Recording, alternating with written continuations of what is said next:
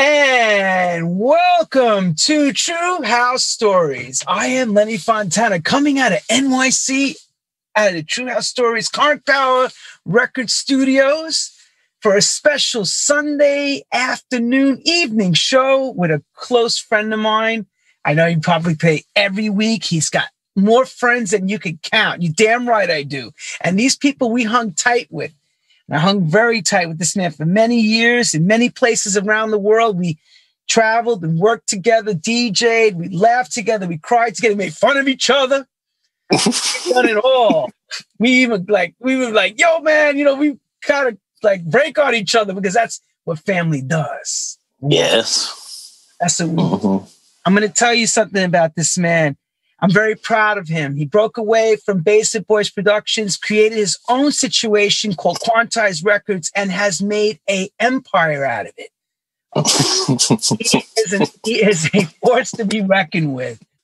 He's a powerhouse. He does phenomenal music. Uh, on the turntable. Man's jumping around like a juju beat, like yeah, it's like yeah, yeah. He's going and going and going and going and going and going. It's like until he stops and he like decompresses. It's nonstop. He's got energy for days. Love him to death. I like you all put your warm hands together and welcome to True House Stories, DJ Spen. What's up? Lenny Fontana. Right. Mm, mm, mm. And welcome, welcome to the show of excellence. Thank you. Of broadcasting. Like I said, each and every week we bring some amazing people. And he's yeah. right now in his studio in, in, Baltimore, Maryland. He and he's put up nice for us. So yeah. and we start yeah. every way, every time, the same way. We all want to know right. how does music find a young DJ Spen? How does music find a young DJ Spen? For that matter. Um, because I, I, well, um, it, it, it, and and I'm I'm I think that this is a question that you ask sort of like in retrospect, like if I'm a young cat, right? How does music find this young dude named DJ Spen?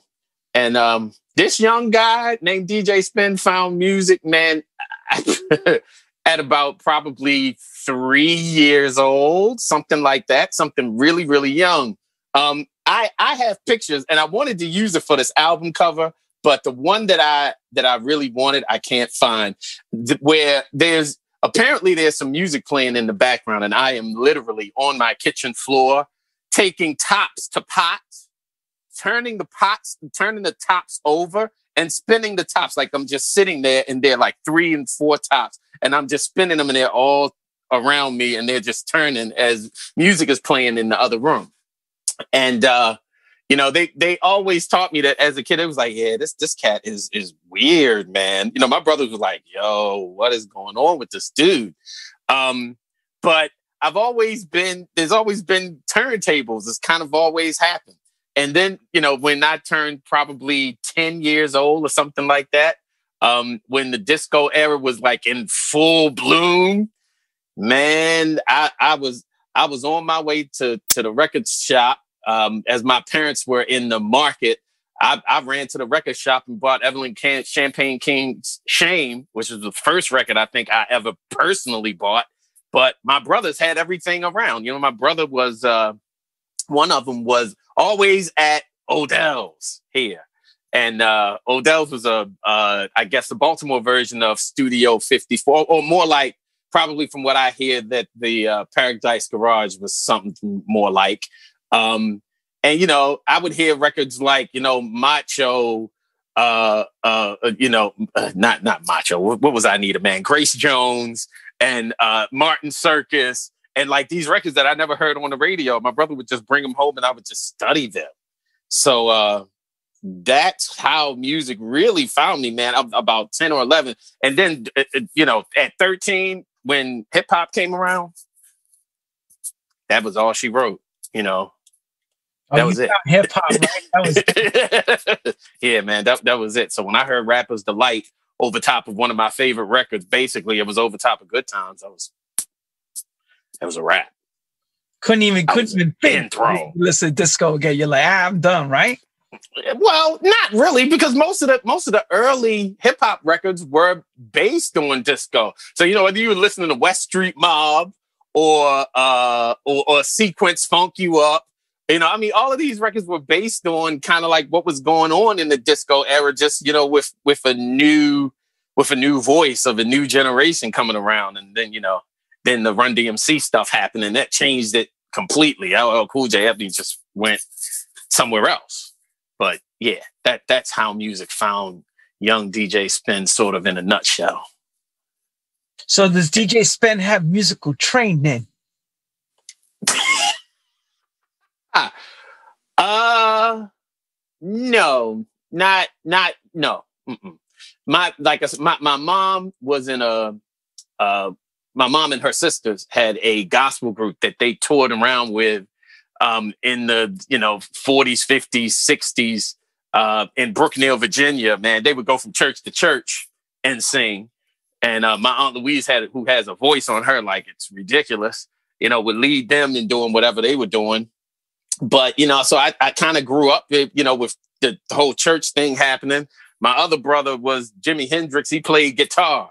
Um, so he was he was he was always on a funk train somewhere and uh, and you know my other brother was into the R&B, the disco, and all of that. So it was just a plethora of stuff happening um, as I was coming along. So I guess the only training I really had was just being submerged in it, uh, one way or another. It just was always around. So formal training, no. Experience training, yes.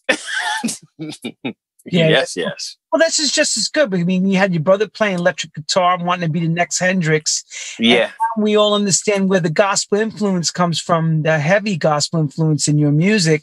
And now hearing that your mother sang. Yeah. So that is yeah. as a young child to be etched, your DNA is gospel down. yeah, it is. It is. It was just kind of a natural progression, you know, when we started doing this whole 4 4 house thing but we're not even, and, you know, yet. Four four house. Just live in Cisco into Kurtis Blow. Because for me, Kurtis Blow was all about these are the breaks. Get it up. Yeah, that's right. And you would hear like right. a beat behind it, and he made it. Yeah. Cool, right. Yeah, that that was the thing. You know, from from uh, and and I really kind of you know I've, I've, heard stories about like Grandmaster Flash and you know like all of the you know the, the b boy guys and stuff. And one thing that that was very similar to me is being you know being a Catholic school kid in Baltimore. How? That Catholic school? Boy, yes, sir. All, all, all, all, of yo, C A T L I C K, Catholic school. Yeah, but but you gotta understand. Hit with a book over my head. like book. She used to say to me, "You're a motor mouth." Bam. Yeah. Well, you see where your motor mouth got you. Well, got you I, I want to tell that. I want to, I want to drag. Say, yeah, you want to tell her thank you. Thank you. yeah, tell everybody in my in my report card. He's a motor mouth. Wow. oh, because I like to be so, I was very socialistic. But anyway, so you went to Dude. Catholic school. So what was that yeah. like? very interesting. Um, in a lot of ways because even though I went to Catholic school, I was raised, everybody around me was Baptist. So exactly. it was it was wild, man. You know, explain to everybody what that means. That everyone with the world music and everything, the worldly music and being Baptist all around you, trying to. Yeah, nah, man. It was like um, my, I, I you know, I, I have to, I have to give my parents credit. I really do because they again they they were from a little my, my father was from a town called red house known for some red barn that's in the dang on town. That's about it. And my mom was from the town called brookneal so these two towns are so small that going to church was what they did for recreation almost kind of you know? I mean it was a thing. You were in church Monday, you know i mean sunday all day then it was, you know, Wednesday, then Friday, then, you know, rehearsals and everything Saturday, and then church on Sunday all day. So it was, um, it was sort of a way of life. But when my dad broke out, came up here to Baltimore in the 50s to go to work at Bethlehem Steel, you know, it's a totally different thing. So now we, you know, my, my brothers who are both kind of 13 years older than I am. You know, my second brother's 13 years. I, I, I'm, I was kind of like, you know, was I supposed, am I supposed to be here or am I not? I, I don't know. I don't know whether I was in the plan, but, um, you know, I mean, my parents, man, allowed them a certain type of musical freedom in the house, you know? So I heard Motown, you know, I, I heard Stax. I heard, you know, what was going on with, you know, Aretha and everybody, you know, and and the and the Atlantic Starr. You know, they they were real heavy into the funk and and all of it. So um yeah, man, but but the church, yeah, the Baptist church, hardcore. It's like um yeah, you can't well, you couldn't. This has changed, thank God, in a lot of ways.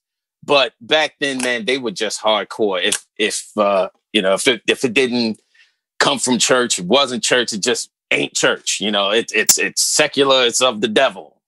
Um, so you know, even though we had to be really careful uh, about what we were doing, and you know, my parents, my father was hardcore, boy. Let me tell you, if Sean did something, anything, the, the James Spencer was coming with it. Bow, it's over with. And that I'm telling you now, man, that that was nothing to play with. So always with respect. But we were able to do some things um, and, and play music and really, really play music at home. And and and you know, with me, like I said, my, my brothers were were older, but it seemed like every mistake that they made with them, they weren't letting me make any of those mistakes. So it was Catholic school, state uh, Catholic school, and you're going to church. you know, if you're not playing a sport, then you're going to church, and that was it. Church. That was it. Church. What church? Church. church. Whitestone Baptist Church was the church I went to here in Baltimore. Went, and like I said, it was. Wait, it, you went to Catholic school, but you went to Baptist church. Yeah. Wow. confusing. I remember some of the kids in my class, it's the same problem. And the way they taught in the Catholic school comparing to how the Baptist way of doing things is a little different. Ain't no little. This world's different. It's completely different. The rituals right. are different. They're hugely different. Yeah.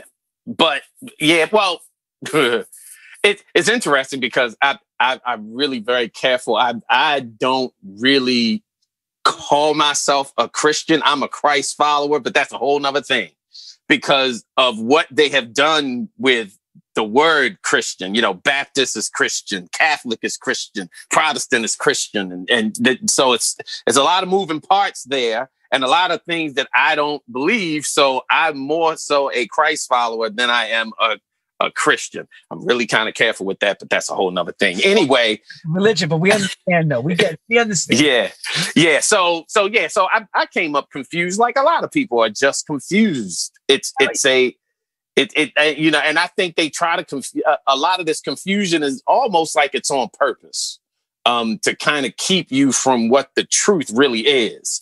Um, so that uh, being what it is it's uh, it, it was tough trying to trying to navigate both worlds. Um, it was tough. It was it was it was just a tough thing. But uh, lo and behold here comes in about 1982 uh, you know, like I said, uh, 1982. My mom's my mom is um, really, you know, she she's working as an occupational therapist. My dad was a steel steel mill worker, and um, I'm listening to the radio station that James Brown used to own here, which was called WEBB, little AM radio station, and they were playing, man, like this this this group called the AP Crew right? Now they said at the time they were from New York, they weren't. They actually were from Columbia, Maryland, furthest thing from New York. I think they may have had a couple of guys who had family in New York, blah blah blah. But anyway, man, I'm hearing these guys mix. I'm like, what in the world is mixing? Whoo, what is that? So I go and I have my little one turntable, Pioneer PL4. You talking about the technique? I had a Pioneer PL4 belt drive turntable and one boom box. That's right. And Talking about what's that PL4 like? Did it even have pitch adjust on that PL4? It did, it did. But you know the the, the little one on the at, in the front that you kind of you know the little All pitch right. wheel. Um, so anyway, yeah, the, the the way you knew if your record was on time is if you could get the the lights to be solid. you know, if the light is solid, you're good. If it's slow, it's slow. If it's fast, it's fast. Whatever. Um, so anyway, I heard them do something that I'd been playing with a long time. So I'd been like taking good times on this pause button deck and making good times the break longer than it was. And I just, you know, I really got kind of decent at it. So I heard them doing what they were doing. I went and I bought a little teeny Gemini mixer. And I had that boombox, that mixer, and that turntable, and I just started going to work, right? Came up with this little eight minute master mix of orbits, and the beat goes on. And did some little things to ask you right? how the pausing and edits were from that time you would listen to it now. You probably like, oh, I do, because because like man, look, so online there are quite a few guys, man, that used to, to that used to record the stuff we used to do on a radio station here. And I would listen to that stuff and be like, oh, gee, that's terrible. That's terrible. And they just love it. It's like, okay, cool. I mean, for back then, I guess it was whatever it was. But you know, it's like little Latin Rascals kind of style stuff. But it's not as clean as the Latin Rascals. Yeah, right. You know, Latin Rascals would use tape. No tape editing. You know, we're doing it with a cassette machine. So when you're hitting the pause, you're getting the space. Uh, you know, you bring it back a little bit. It's like they're a little bit like uh-huh. uh, uh-huh. the edits were not mm-hmm. on beat. So you, but that was what made it magical. I guess so because people love them, and um, yeah. So I did my first one, man, and I remember I, I begged my mom right? I think I had been What'd you punished. I think I'd been punished. I must have gotten like a D on something. So they they they punished me. And one day, you know, I just got to doing what I was doing. And I said, Mom, look, you got to take me to this radio station. I want to take this tape to this guy because they're playing these things on the radio. And I think I got something that's close. And she said, okay. She finally broke down, said, all right. She said, all right. And yeah, she said okay. So she wow. we got in the car, man. friends, black moms. weeks. They were on lockdown. Yeah. I mean, I think, you know, they, like I said, my parents were always working. So a lot of times, you know, I mean, even at a young age, I was home by myself and my brothers weren't there and stuff, you know. But, you know, my brothers, one of my brothers was more like a father to me because my parents was, were so much older than I was. Um, so you know, I mean, he always, you know, looking out for me, you know, teaching me how to balance checkbooks and stuff, you know, really when I was young, that kind of thing. So he, he was, yeah, my, yeah, my, my brother's serious. So he was the one who was working in the electronic stores and was able to get me the electronic stuff. I mean, one of these amps I still have from when he was working in Luskins. this is what it was called, Luskin. So anyway, he, um, no, no, no. My mom takes me to the uh, the radio station. I take the tape to the guy, right? The, I mean, you know, classic kind of thing. You know, we sat there for about 15, 20 minutes or 30 minutes or whatever. My mom's like, if he don't come on, we gonna roll. But all right, this is this, this whatever. At least you bought me.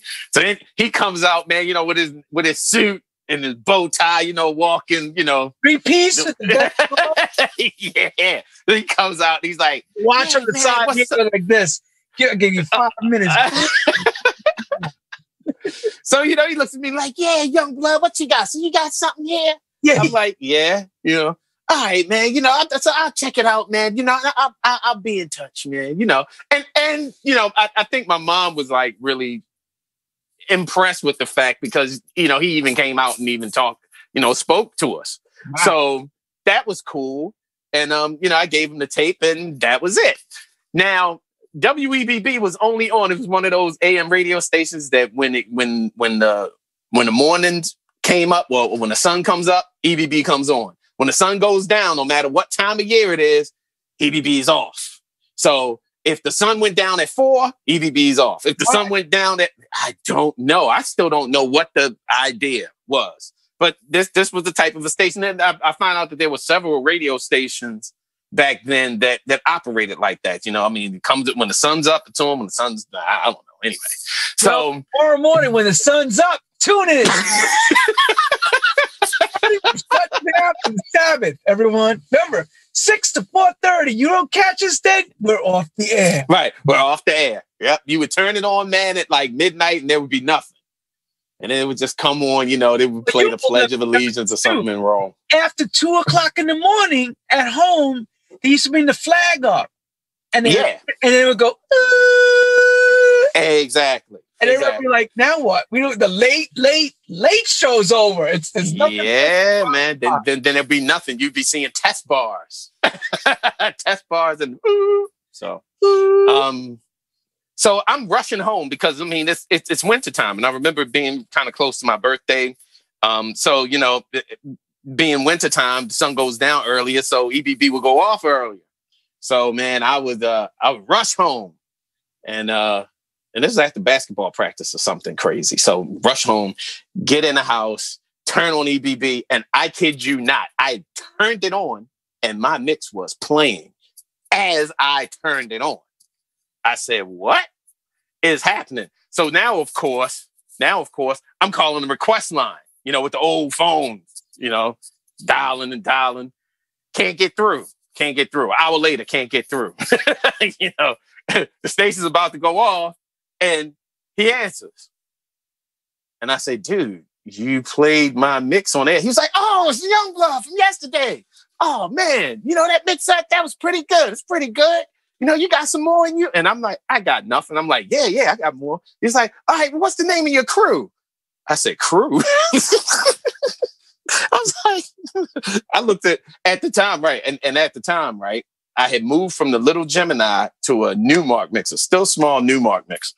I looked over at the mixer. He's asking me the question, and the words the Numarks came out of my mouth. He's like, "All right, man. So the Numarx, man. We're gonna expect some more from you, etc. We're hearing some more of what you got." That was it. so wait, so how many times? So wait, wait, wait. so now you became your crew. Your tag name was the Numarx. Yeah, that was it. N U M A R X. We took the K off. I, I was I was scared of being sued by the mixing company. You actually really thought that too? You were actually thinking about being sued? Man, heck yeah. I was like, yo, I'm hoping them cats don't come after me. I'm just a kid. like most thinking about man, yo, my favorite radio mix. Yo, wow. Yeah, but but I mean, but but now, I mean, A, I told the dude, uh, kind of fabricated thing. I don't have a crew. That's first.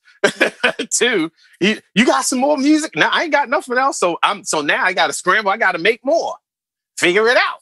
So man, and and and man, in the early days, the, the Numarx went through a couple of different versions. First, it was me and my two cousins. Then my two cousins fell off, and then it was me and two guys from from my middle school uh, then then we added one other guy um, who was the cousin of one of, of Cool Rod. So it was me, Cool Rod, Junie Jam, Beatmaster Moses, and then we added Kevin Liles. Kevin Liles was the last piece, and that was how the Numarx was basically formed. So were you getting DJ gigs now, like to play parties, because off of this AM radio station airing thing?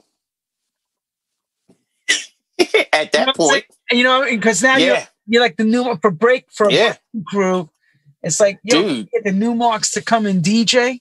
The first gig that I had, that the, the, the radio station thing happened in I think September 82. The first gig that I had um, was as the Numarx. It was me and Beatmaster Moses, and we were opening for this cat named Davy DMX who had a record called One for the Treble out of New York. Wow. And um, yeah, that was my first my first gig, December 1982. Keep on. D Train era, 82, baby. That's D 82. Yeah, that D Train so, down. So where did you perform on a stage or was it like a gymnasium thing? What was no, it, it was it, it, was at the Baltimore Civic Center at the time. Oh wow. Um, yeah. That? So it was it, it was a pretty it was a pretty hefty gig. It was wild. I mean, it, and and it, it's weird because it was it was so uh it was so intimidating to a point, especially my, my partner. Now, remember, I told you I pulled together this thing. Right. You just, all of a sudden, you just made it, Yeah, just, just, just pulled it together, right? I mean, Uh, my, the, my partner at the time, Moses, he couldn't even really mix. And literally, he froze in front because we worked out this routine and everything, and he froze. And I was like, "Oh man, I got to keep doing something." So we just it was it was so wait, it was wait, insane. Wait. Is it like Beat Street, the movie where you know the guy you come in and the crowd's going like this, and you're like, you know, when the guy's scratching. Yeah. Like yeah. Yeah. 1200s or you, do you have not inferior 12? We had four PL4 Pioneer turntables. We insisted on having the same gear all of us. And that's what we went and we did that gig with. Turntable scratching? Yeah, man. Yeah. And of course, Davy DMX came on and he did what he did.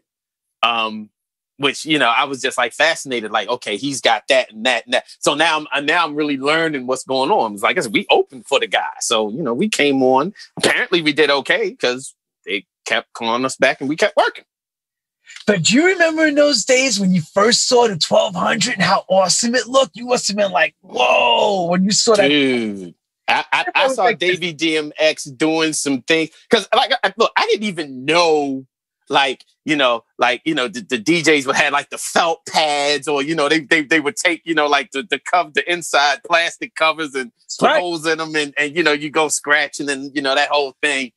um, right. Man, I was I was still using the rubber felt to do what I was doing, to do what we were doing. We were using the rubber. I'm telling you, man, it, it was like, it was, it was, I was working, but school was in session. I looked at Davy DMX and was like, okay, this is what we need to do. Right, we need to step up our game. You were saying we mm-hmm. need to mm-hmm. step this up right away. Yeah, yeah. But understand, Lenny, I was 13. My, you know, talking to my parents about getting some some 1200s. I didn't have 1200s till three years later. We were working those PL4s, man, for about three years straight before I was You're able like, to stop this, man. move on. Where the hell's Pioneer right now? We should be enjoying this. Just on the PL4. Yeah, it is, everybody. He had a Pioneer belt-driven turntables.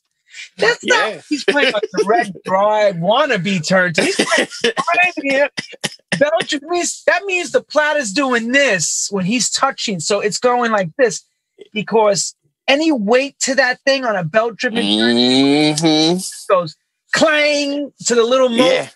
It had like the yeah. clang, like you know, right? Like that's right. And but but that wasn't the thing. It was the straight arms, the straight, yeah. the, the, the straight arms, not not the S arm, the straight ahead arms. So man, we were doing some really interesting things with that setup. Um, and and which is very interesting because then, like I said, school was in session. B- believe it or not, we were doing whatever we were doing, and, and and and you know the kids around here were doing were were you know really into what we were doing. You know, we were doing a bunch of the high school parties, and you know, I mean, we were like freshmen, and we were doing like all the senior parties and stuff. It was crazy. Um, but then, and then I bet you becoming the heroes everybody too, because in those days, your peers would love you guys even more because you became like neighborhood celebrities. Yeah, it was not, it, not it, it was level, but just uh, it, you're right. Boy, that could play on the turntable. He's fresh. Yeah, He's dude, you're right. Fresh. Because yo, don't get it twisted. I was yo, I was a nerd from the herd. Don't get it twisted. My I told you, my parents didn't let me do anything being able to DJ, A was my way of getting out of the house. You know, I mean, I, I actually, if I was out DJing until two or three in the morning, they wouldn't make me necessarily go to church some of those times. But boy, if I had to go, they would be like, oh, came home at three, still gotta go. still gotta go. But sometimes they would have mercy on the brother, depending on what time it was. But the facts really were, um, you know, hey man, it's Sunday. We gonna rock and roll. Get up. Let's Wait, go. Get, get up. Get up. Yep. Clap your hands. Let's go. Get up. Mm-hmm. Clap your hands. Get up. Right. Come on, come on. But yeah. So, so it was uh ends, that's how it was. I know you wrote records and stuff. High school ends, you go on, you go into mm-hmm. college level stuff. You start well, to- no, still in high school, man. Look, look, look, look, look. In high school, I, I, I would think when I was a junior at this point was when Jazzy Jeff came to town and the Fresh Prince. Woo! That's a big thing, man. Big thing there. Man, he came down here, yeah. He came down here to AFRAM and taught a brother some lessons. I was like, what? Because I, now I had heard him, then because you know, we had family up up on Long Island. And every now and again, my, my parents would, you know, we would take the drive from here and go up there. And I would just be fascinated with what I would hear on New York radio, blah, blah, blah. Man, one Sunday we came back from New York. Sunday afternoon, I'll never forget. And I turn on the AM, you know, I'm surfing. All of a sudden, I hear this cat, the Fresh Prince, is talking on the radio with this cat, Jazzy Jeff, doing some unspeakable things, the records in the back of him. I'm like, what is he doing? And I was like, okay, well, they have to be live because, you know, like I said, we were putting things together with this pause button situation we had going on, right? But he was doing some things that sound like some pause mixing going on, but he was doing them live. I'm like, he talking on this stuff. It's completely different. So when they were when they came to town, buddy, I was glued to the front. Like, what are you doing? And I'm watching Jazzy Jeff transform, backspin. I was just like, okay, it's uh school time for real. Yeah, you and next thing you know, yeah. So I, I I practiced those moves, man, for months, for months and months and months. Like I was in, like literally, like I was in school. Wake up in the morning, work from six to seven, finish at seven o'clock, get ready to go to school, come home, and back at it doing this stuff that Jazzy Jeff was yeah, doing. Everybody, how many hours were put into this? Like hours were endless. He, hours he wanted he wanted to become great. No matter what it took he would practice and practice. And yeah so so needless to say I, I probably became the first guy that was doing anything similar what, to what jeff and cash money and all those guys were doing. Um and at this point you know we like i said we we, we ended up being a five-man crew. When kevin Liles came around we started you know we started to add the mc element to what we were doing. So between him and cool rod they were our front men, and we would have man. I claim the fame, Lenny. I kid you not, with eight turntables. We had eight turntables rolling, two MCs, and all of a sudden, the Numarx was a real bona fide crew that would go around and do skating parties. Man, shit, we opened up for for uh, um, LL, um, uh, Fat Boys. Um, which jeez, man, like you name it. If they came through here, we opened up for them. Heavy D and the boys. If they came through Baltimore between probably like 84 and 85, we we rolled with them. EPMD, whole nine. That was crazy. It was nuts. Wow. See, I didn't know that. I had no idea about that. Yeah. How long? Yeah, it was nuts. For how long did that go on for? About two years. And um, like I said, and, and in between, and, and, while all of that was going on, now we starting to go into the studio. I kid you not, man. We did we we did a record called "The Rhythm Machine," and I think I still have it around here on a cassette somewhere. And the Rhythm Machine, we sampled Bob James "Take Me to the Mardi Gras." And we just thought that that thing was going to be the next best thing since sliced bread because I mean, we killed it. We refined it. And then here comes Run DMC with Peter Piper.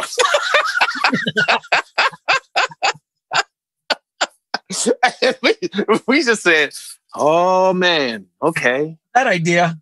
Yeah, that that idea is gone. No matter how good it was, it, it you know it's Run DMC. Now everybody's just going to think you're biting, and that's done. But in the midst of all of this, man, we came up. We we worked with this guy, man, out of Annapolis, um, guy named Bill Pettaway, and he had this track that was the layout, was the groundwork for this song called "Girl, You Know It's True" that we did. And uh, we loved what he did so much. He was getting ready to throw it away. He didn't want to use it. Um, but we convinced him to use it. We went to the studio, man, in DC. We recorded it. Who was in? Put that thing out. Who was the singers in the girl? You know it's true. Who's the singers? All right. So one. Yeah, tell us the story in the Baltimore side before it goes international. Who's, who's saying it in the back end? All right. So what what what initially happened was you know, like I said, we we we went to the studio, we laid it out. It was all laid out.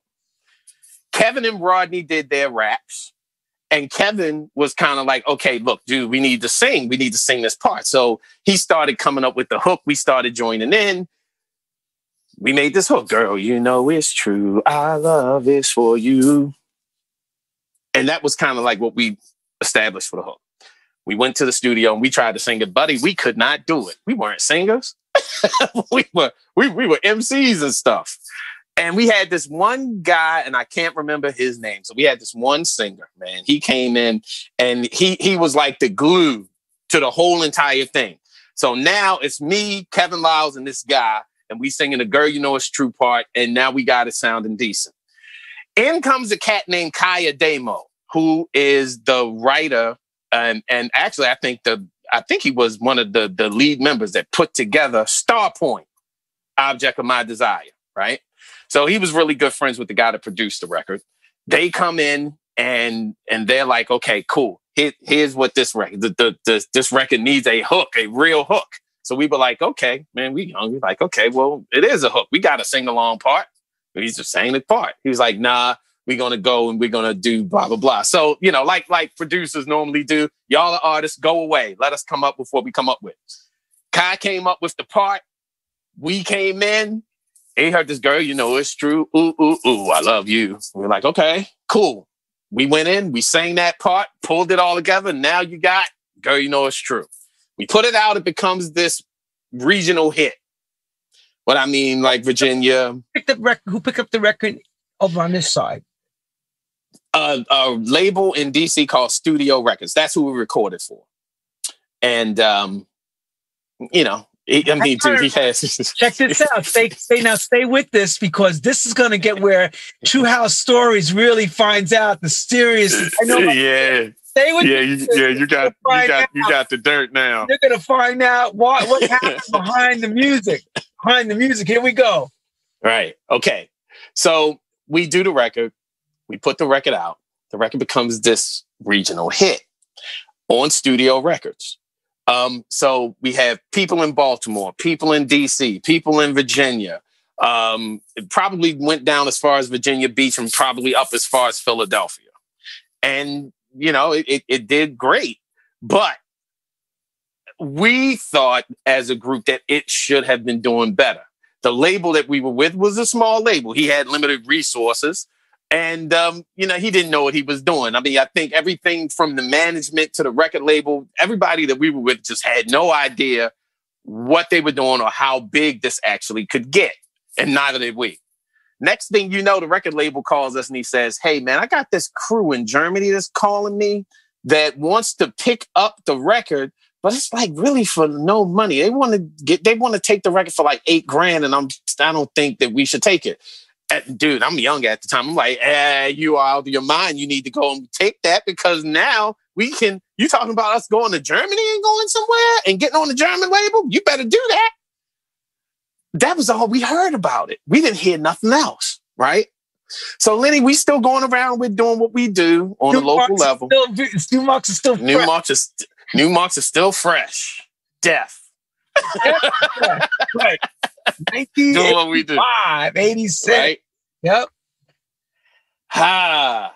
Must have been getting to be summer of 86. I get a call. That's right. Now I lived now I lived in Baltimore City. Um, and the rest, everybody else lived in Baltimore County. Baltimore County had cable. Baltimore City didn't have cable yet. That's right. Okay. But he was still waiting for the cable come to town. Right. So I'm the only one that's out as far as cables concerned. Phones are still in fashion. Touchtone was an amenity for an additional expense in your house, if I remember correctly. Oh, this is why I guess people like you because you are out of your mind. It's this is the gone. truth. You have to remember that. To yeah, remember this is difficult times, guys. My father yeah. me, "Give me the goddamn phone right now. I need to make a phone call." it's like, oh, we got the phone with it. It was like, it was fierce that you had a phone now that you could quickly go with a redial button. That was yeah. Like, no, it was it man. That was it was, it was next level. Things were. man, it was next level. Being able to call a radio station every day and just hit redial and, yeah, right, and, and go rather than having to go. That's right. So, so the guy so, sells anyway. the record to Germany, and you guys he, go and do your. Well, well, he well he he claims he never sold it to Germany, or he never licensed it. He he claims he didn't do it. Right. Okay. He told, that's what he told you. That's what he told us. He said it wasn't enough money. That's exactly what he said, and then that was that. All right. So I get a phone call in 86. Yo, man, the uh, we we hearing your record on the on the radio. Uh, somebody somebody stole your record. I mean, it's your record, but it's not you. I said, say what? And and and of course, because I didn't see it, I didn't believe it. I'm like, ah, this is whatever it is, right? But I kept getting the calls. They just they just kept coming, and I kept deny, deny, deny right? Until one day I turn on, like I said, man, all we had ABC, NBC, CBS. So one of those stations had some video show, man. I turn on the radio and I see these two dudes with long hairs jumping around singing Girl, You Know It's True. And I'm like, oh boy, this is interesting. Because see, you had to look at it from from my Give us your our point of view. Yeah, give us to us from your vision. Right. Our point of view was that our record company couldn't take us to that level to even do a video. Right. Here, these guys are coming doing our song with a video and a killer video with dancers and hold up and it's not, and they're not using our version. We would have never done that song that way. Right. So now, not only, not only is that happening for me, now you got to understand that the, the type of, the type of thing that I was feeling was they stole your record. You punked out. They, st- I mean, we heard all kind of stuff. We heard all kinds of stuff. Oh, I bet. I mean, some stuff I can't. I, I can't even. Yeah, it was like it was like y'all let y'all let those dudes steal no, y'all music. You all let like it was up to you to let that happen. Yeah, exactly. let that happen. Yep. How that's exactly what it was. Happen? Hang on a second. Tap a little more drink. I want to. I want to share. Give everybody a quick second. I want to re re again. People are gagging right now. But while we're at it, coming week we got Freddie Turner. Come on, y'all. You're up in there. You're seeing the numbers. And Marsha Stern and Robbie Leslie on the 24th. Mr. Freddie Turner on the 17th. Freddie Turner. Make sure you tune in. And one other thing, hold on. I need all of you to help us, like PBS, subscribe to our newsletter. Oh, wrong. Hang on. I'm, I'm blown away by the story. You better sell it, boy. subscribe to our newsletter. Please share it. Yes. Share and subscribe and stay with us all the time. TrueHouseStories.com is here for you each and every week with some special Sundays. We give it to you. You got that water down? You got you're all good? You got that coffee? Yeah, I'm good. Yep. Going back to the Milli story, which is this is incredible to hear it from his mouth. Because I've heard yeah. it over a couple of drinks, but to hear it like this is perfect. Yeah. So yeah, all your homies are calling you saying, "How could you? How could you let this happen? What's wrong mm-hmm. with you?" And you're going, mm-hmm. you're going, "Damn it, damn it!" yeah. Then you try to explain it, and they're like, "Yeah, right." nah, nah. To these dudes around here, wasn't no explaining. They saw what they saw, and they knew what they knew. So it was so it, it was man, it was it was like at that point it was like disappointment after disappointment after disappointment after I mean just so many different things. And I, I, I and I yeah. So it, it, was man shoot, I can get into a bunch. But um we were we were devastated in a lot of ways. And the bad thing is that, you know, we we never really had an outlet to really kind of talk about it. We just kind of was like, okay, well, it is what it is. We just kept doing what we were doing. You know, I mean, we kept trying to prove ourselves, you know, going doing gigs and and and functions and weddings and you know, I mean, we just we just kept doing what we doing. Brother man, did they actually steal the re- what? What no. people part of it? Can you give us a leak? You understand the music industry, so now yeah. you speak on the music industry side. What exactly went down? What was the, um, what what they they they heard the record. Okay, right. They loved the record. I mean, the record the record from what I understand, the record had been um, signed to Cooltempo. Okay. And we didn't know. Okay. So so not only that, we had a previous single called Rhyme So Deaf, which was also signed to a label. It was signed to a label in London or picked up by a label in London and a label in Germany. So we never knew that. We didn't even know that that happened. So there was a third party licensing deal that happened that uh-huh. you just signed. You just signed the Baltimore contract, and you didn't know anything further. Nope. So all of this is going on unbeknownst to us. Okay. Gotcha. Then you guys then, bucks. They figure you're young bucks and, and green around the ears. You ain't gonna find out nothing. That's what they're thinking. Go ahead. Right. And and uh man, so we we saw this video and it was like, okay. So we kept on working and kept on working.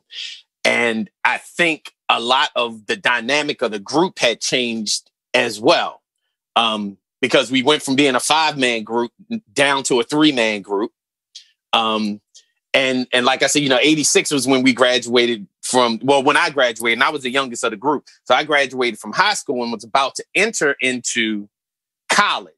So now you've got a whole nother dynamic of stuff that's happening. Okay. Um, we we wanted this to happen. It didn't happen for us. It seems to happen for somebody else.